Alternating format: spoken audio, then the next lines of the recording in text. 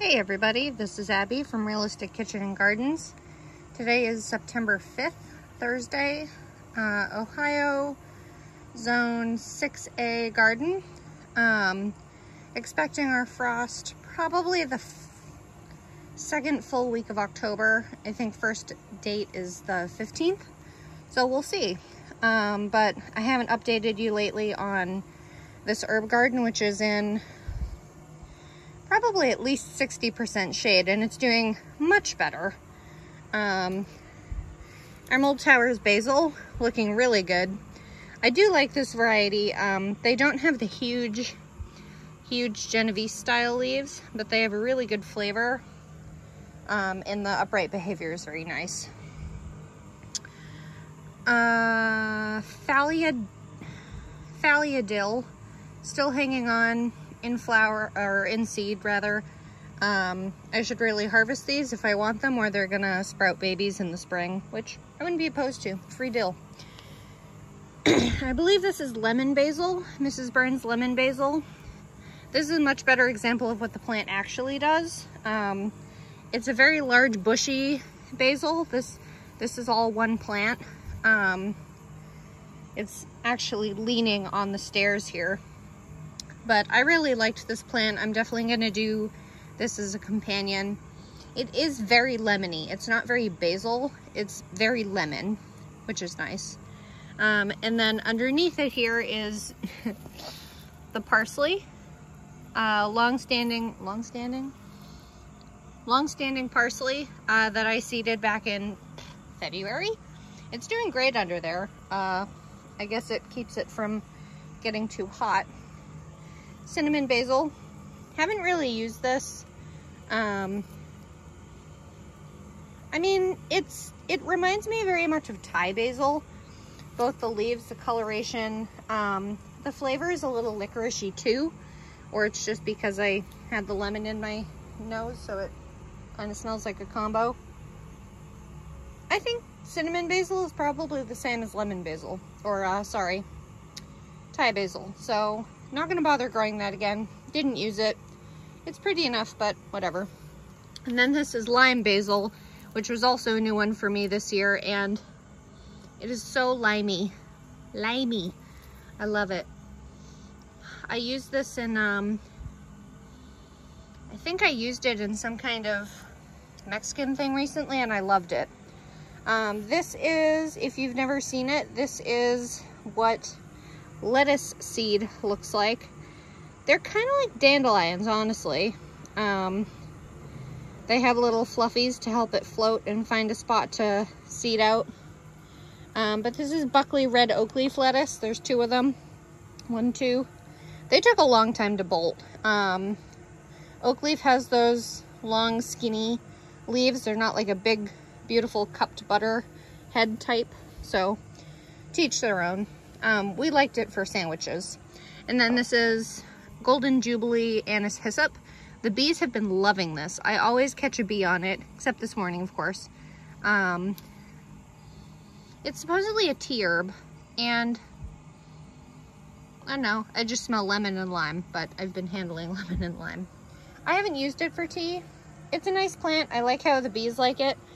Um, I could potentially put it as a companion for um, like tomatoes and things if I really wanted. Um, I, I don't know what family it's in. It might very well be in the mint family, which is always a slippery slope to go down.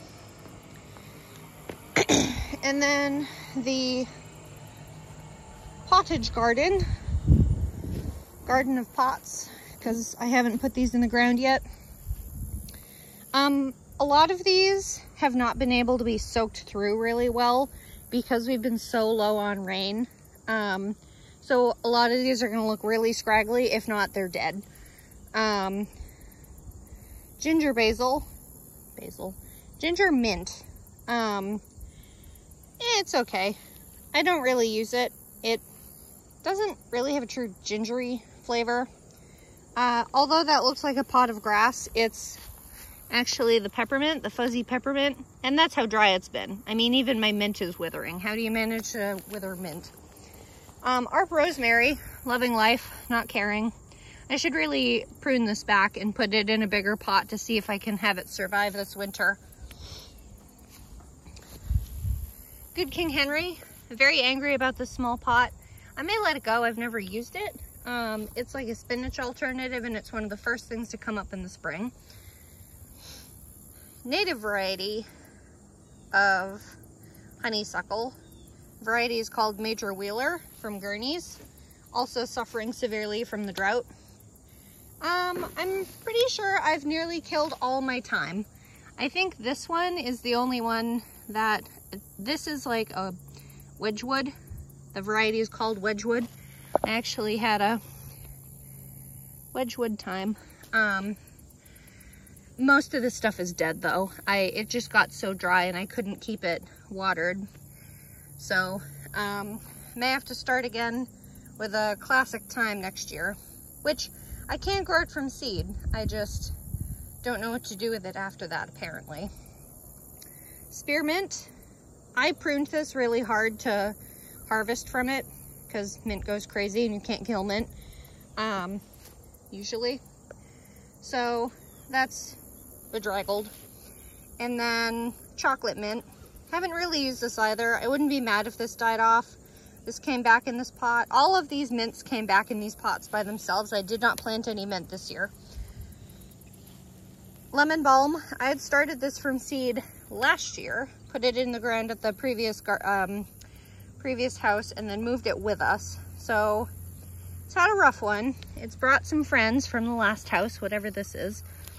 Um, and this is dead foliage from the original, but it does have some new sprouts.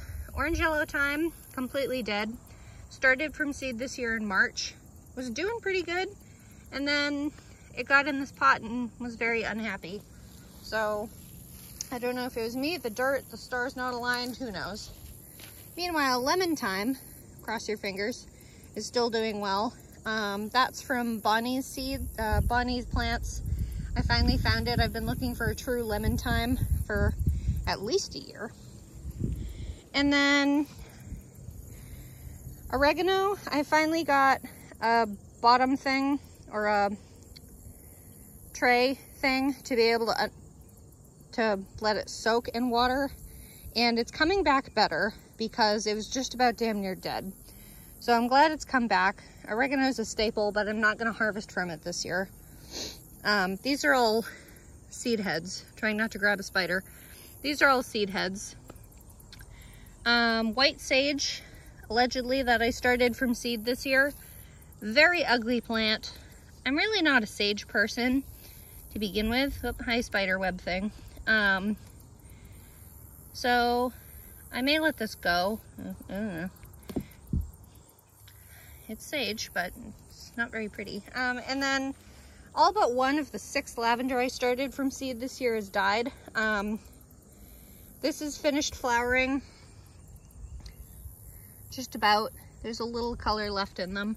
They were very fragrant. I'll definitely start a bunch more seeds for it next year and hopefully actually get it in the ground. Excuse me, what a thought. Putting plants in the ground. Anyway, I'm gonna grab this cart with me as we go down because I need to bring some tools in. The garden is starting to be put to bed, mostly because the closer we get to December, the less mobile I am. If you're new here, I am just shy of seven months pregnant, so uh, mobility is getting lower and lower, as is stamina for that matter. But I've done pretty well this year. I've taken it easy. I'm still pretty happy with what I've gotten done, even with the slight limitations I've had so far. Um, one other new thing that I don't think I've talked about is next to this yellow bucket to the right, sorry about the jostling, um, I have started a compost pile in the wake of my chickens being gone. Again, if you're new here, I had chickens that free ranged and they got eaten by something about a week ago. So now I have a compost pile and we'll see how it does. There's the coop down yonder, all closed up and put to bed for when we have chickens again, ready to go basically in the We're gonna be getting chicks in like January, February, March. So, the silhouette has changed and it will change again, but I'll address it as we get there.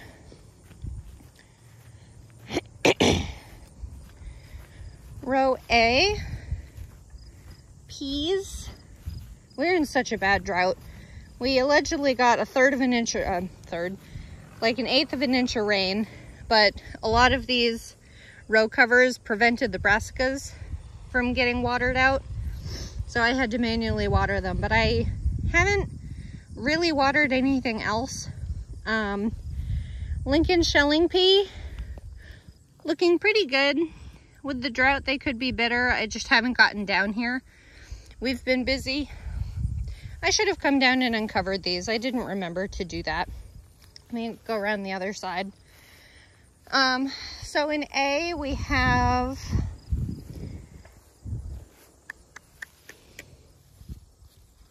Brussels sprouts. This is jade. We've lost three of them. There were seven, now there's only four or so. I can see them through the cover. I know you can't. Um, then here's some cabbages. I've planted three Pixie Baby, three Farao. Both are repeats from the spring. And then I'm also doing six Tiara, which I grew at the previous property and I know they do well. And then on this far end is jade Brussels sprouts, which I think are doing a little bit better. I should water again, it's hot under here. Um, I really can probably take the shade cloth in a bit, off in a bit, um, but they're the only thing keeping um, cabbage loopers and things from being on them because I don't have that many um, devices to shade them with. This white fabric here is um, frost fleece. It's not as permeable and it's not actually made for temperature control per se. It's to keep the frost from getting through and biting the tips of the plants. Um, so not the original use. Surge shelling pea. These are a lovely variety. These are new to me from um, Holmes Seeds. They've been doing well. I, well, they're obviously going downhill now. Um, but they're a decent shelling pea. I'm tempted to see how they do with just going to dry, mostly because I can't be bothered. Um, coming out here to pick and shell like a handful at a time. Hmm. Yeah, a little a little bit bitter. Monroe B is, um, um, what's down here? This is blue ribbon broccoli. This is a large variety, large heading variety of broccoli that is from Gurney's. It's a hybrid that is supposed to get absolutely gigantic heads on it. I tried to grow it this spring and right before it was ready, we got into the 90s, so I didn't hope for it. And then, let's see. Then I have Bravado broccoli, which is, I have three plants of that. It's also a heading broccoli, but more of like an heirloom style. Um, and then I have burgundy sprouting broccoli, which I believe I've lost at least one of. Nope, that's kale. I forgot I did kale. That's uh, winter Landsea kale. It's very similar to that purple variety over there, but it's green.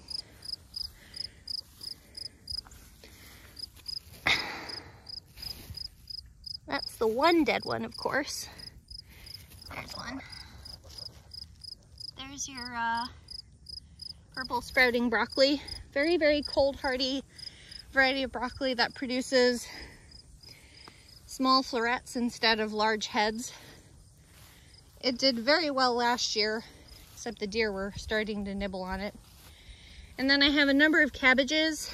Um, I don't know what this one's doing. I don't know if that's sunburn or fungi or what.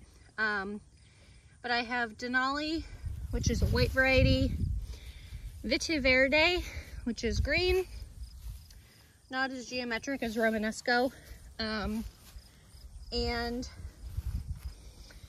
Clementine again, which is orange. We really liked roasted cauliflower last year, so if these work, that'll be great. If not, bummer, but you know. Um, the bean row, I finally put the carrot boards down to start smothering things. Um, I do need to cardboard. I'm debating doing a large scale amount of um, solarization plastic. I really need to collect beans too, but it's been so dry I figured there really isn't any. Um,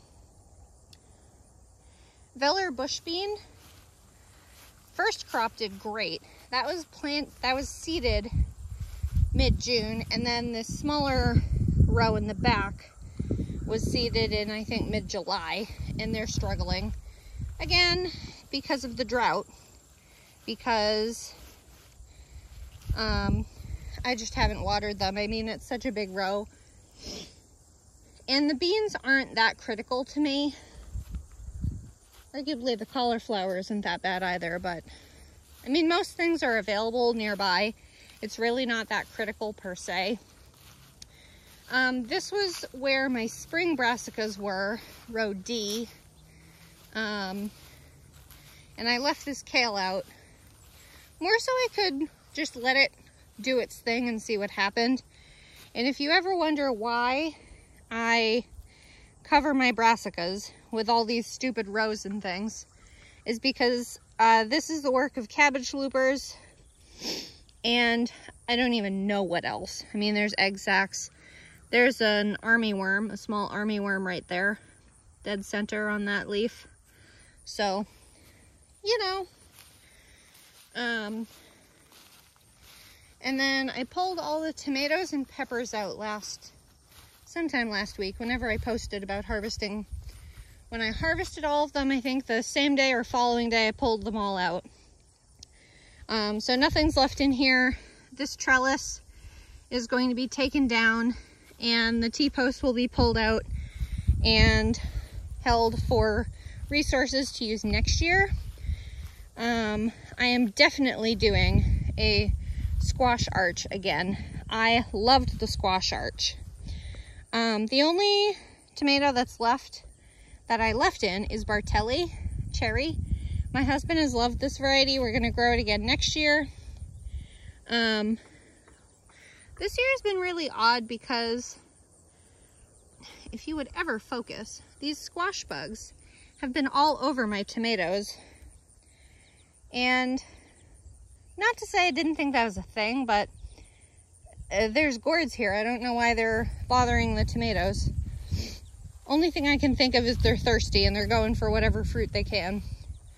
Um, this is where the peppers had started. I've pulled all of them out. Um, these are all snapdragons of varying decisions. Um, seed heads for the snapdragons. This is one of the um, Finissimo Verde a Palla basil that's left. I'm going to tear this out because I don't want it to reseed itself. I didn't like the variety. I'm not going to bother. Um, one thing I'm definitely doing next year is going hardcore with the nasturtiums. Last year, the nasturtiums were too crazy and I think stunted my tomatoes. This year, um, I didn't have enough fragrant herbs around my tomatoes and they got eaten by um, tomato hornworms. To be fair, it was late in the season, so I don't really care that much.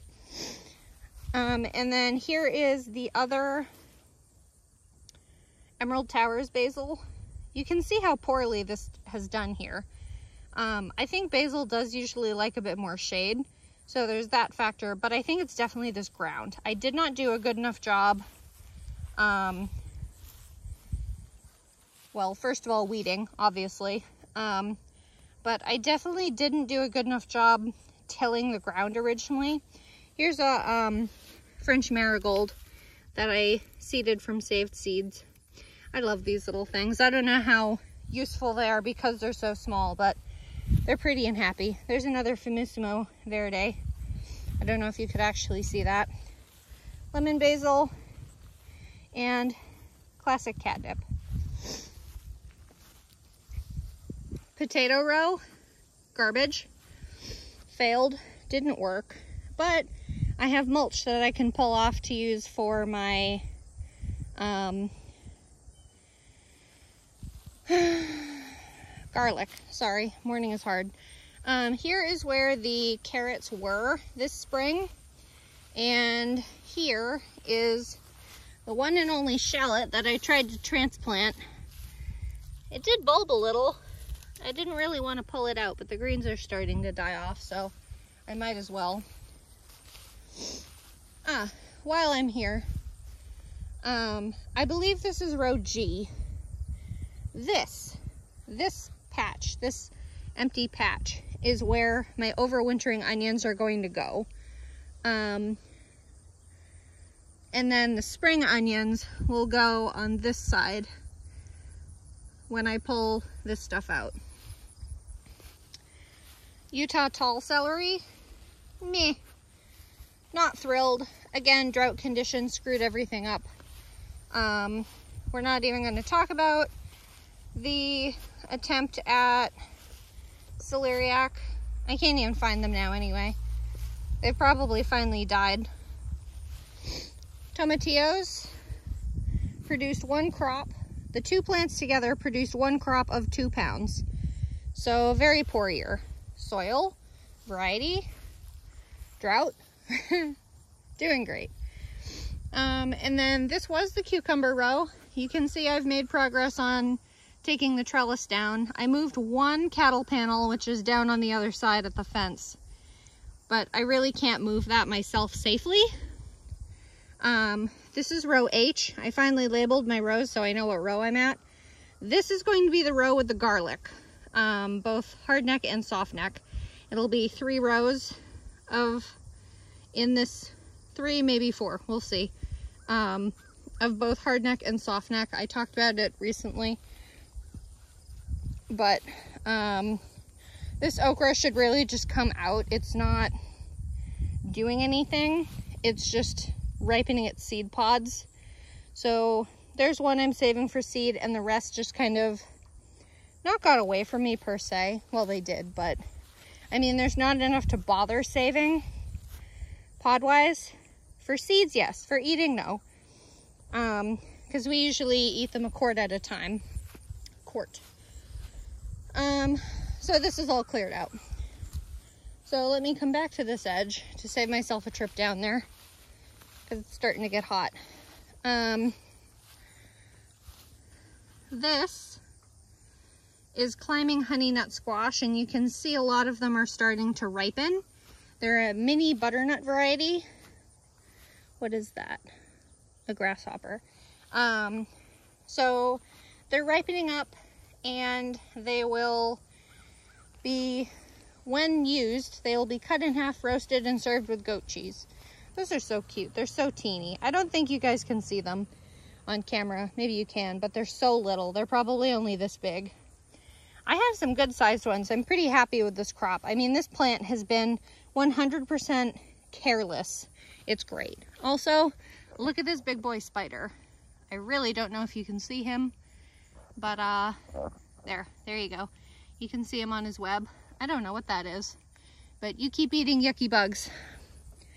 I love spiders. Don't like touching them, but I like them in my garden. And I'm okay with them in my bathroom, as long as they don't fall on me in the shower.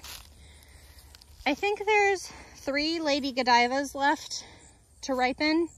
This is one. This was covered in squash, blossom, uh, squash bugs yesterday.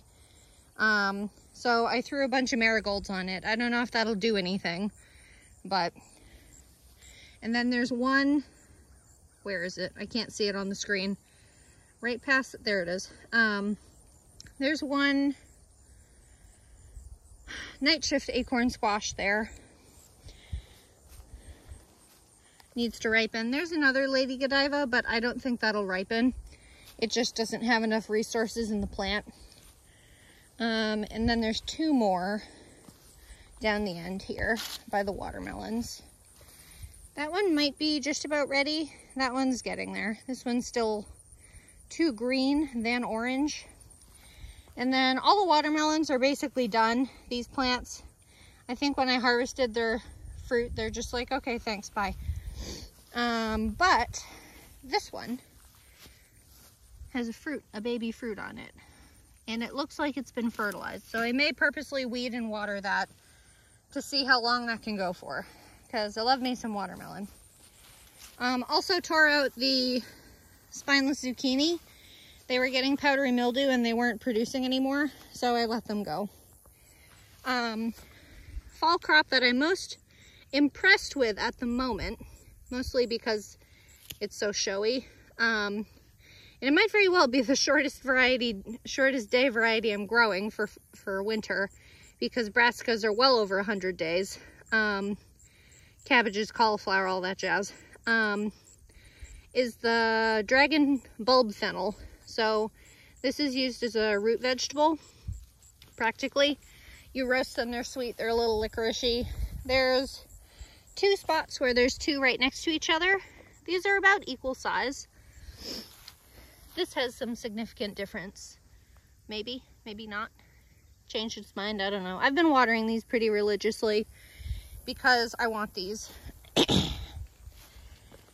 and then the carrots are getting big, or at least the foliage is. I really need to try to soak this down really, really well. Um, to try to soften up the soil for them so they can go down. This is Scarlet Nantes carrots. There's four rows across. Um, trying to find a spot that has all four. So one, two, three, and four.